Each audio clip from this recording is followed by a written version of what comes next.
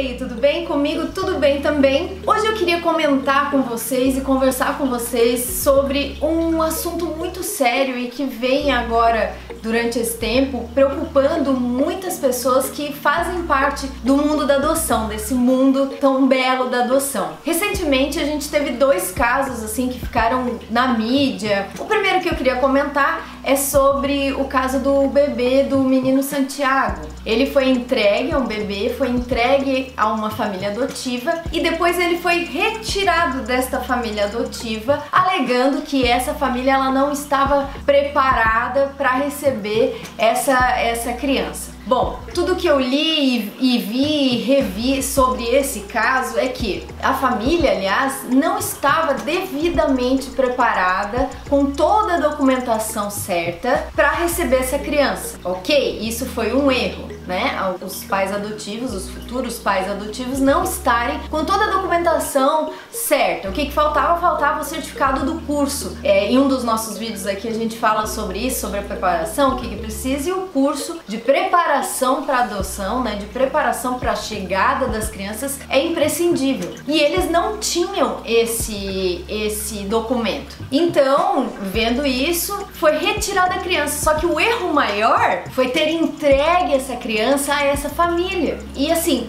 foram um, uma sucessão de erros, né? Ele foi entregue à família, a família não poderia estar no SNA, no Sistema Nacional de Adoção, que é onde a gente está esperando por, por, crianças fica, né? Esse casal não poderia estar ali, é, como também não poderia ter recebido a criança. Só que eu acho a crueldade maior vem aí. A criança foi para a família e depois ela foi retirada da família. Meu, eu me coloco muito no lugar dessa mãe, porque essa mãe ela recebeu o filho, concebeu aquela criança naquele momento. Então aí depois de um tempo, depois de, de, de reverem várias coisas, a criança voltou para a família adotiva, a família, é, enfim, que já deu todo o amor, todo o carinho durante um período e que depois foi retirado. Bom, nesse caso tivemos erros de ambos os lados. Agora tem o segundo caso, que é da menina Vivi, também de Minas Gerais. Os dois casos são de Minas Gerais. Esse caso da menina Vivi, da menina Vitória,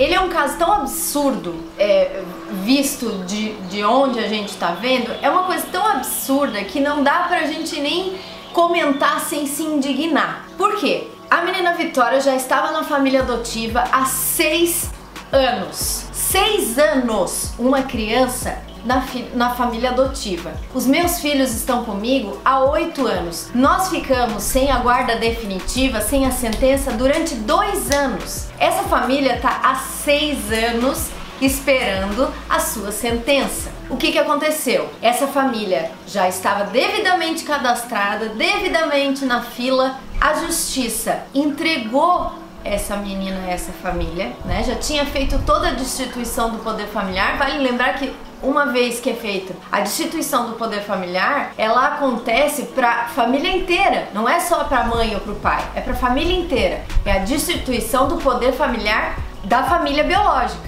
Ou seja, foi feito estudos, foi feito tudo. O que, que aconteceu? Ela foi pro abrigo porque a genitora dela, a mãe biológica, não poderia, não tinha condições de cuidar dela por ser dependente química. E o pai foi preso por ter matado o seu pai, o seu próprio pai, ou seja, o avô biológico dessa menina.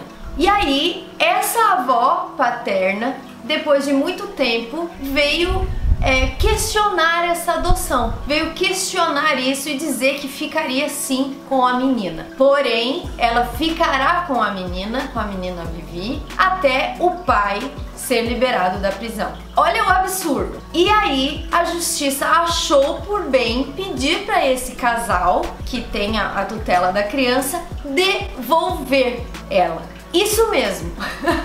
Não é, vocês não estão pirando não. É, é uma desembargadora lá de Minas Gerais simplesmente pediu para que essa família devolvesse essa criança. E tem uma sucessão de absurdos. Por exemplo, é, coisas que a gente também fez. Existe uma coisa chamada de nome afetivo. Em alguns estados, nós estamos em Mato Grosso do Sul, eles são aceitos, ou seja, a gente vai na escola, matricula com o nome afetivo. Diante, obviamente, da certidão de nascimento que eles já tinham e também diante da, da, da, da sentença ali, do termo de guarda que a gente tinha, não era sentença ainda. E foi feito, no nosso caso, no, normalmente. Com a menina Vivi, também foi feito. Mas nos autos do processo consta como se os pais fossem loucos por ter feito isso. Lógico que não foi usado essas, essas palavras, mas foi levado a entender que isso, que os pais Olha que loucura! Fizeram isso, já colocaram o nome. São seis anos de convivência. São seis anos e uma família. É como se agora do nada viesse alguém questionar. Hoje em dia não há mais possibilidade, né? Porque nosso caso já foi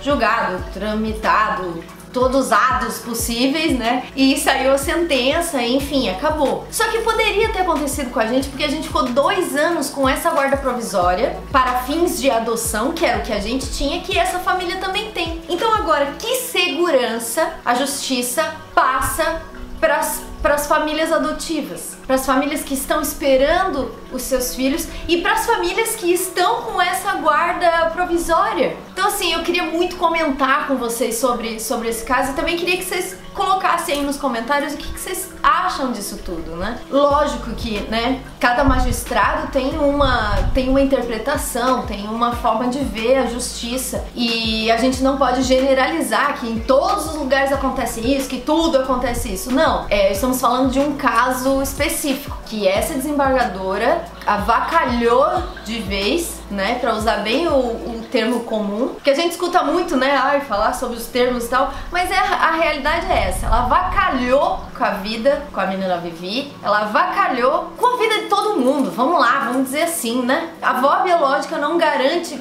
nada. Os técnicos já avaliaram que essa criança não poderia ficar com essa família. Então, assim, o absurdo maior é esse. O absurdo maior é ter uma avaliação, não ter sido cumprida e agora querem uma devolução como se a menina fosse uma coisa. Vocês têm noção do quão absurdo é isso? Do quão do quão a gente não. A, a, a menina é um ser humano, né? Não é uma coisa, ah, não, não gostou, agora devolve. A gente não critica tanto né? Várias pessoas criticam a, a, o casal que não se adapta com uma criança e a devolve. Agora a justiça quer fazer isso? Então eu deixo aqui para vocês pensarem também comigo e pra gente, pra gente tentar ajudar de alguma forma. Aqui na descrição do vídeo também tá um link para um abaixo assinado que a família tá fazendo. E se você quiser ajudar, posta nas suas redes sociais, hashtag FicaVivi, que é uma hashtag que eles estão usando bastante. E vamos em busca de justiça nesse caso, que realmente me enganjei com isso porque me identifiquei demais com a história. Então é isso. Deixa aqui nos comentários o que vocês acharam. Coloca a hashtag FicaVivi e um beijo até a próxima.